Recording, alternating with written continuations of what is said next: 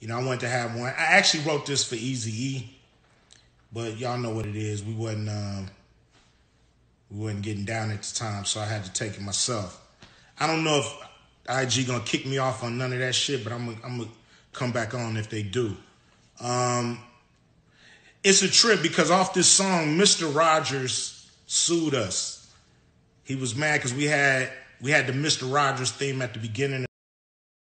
It's a wonderful day in the neighborhood and all that. And uh sued us and was getting like five cent a record till we took that part off.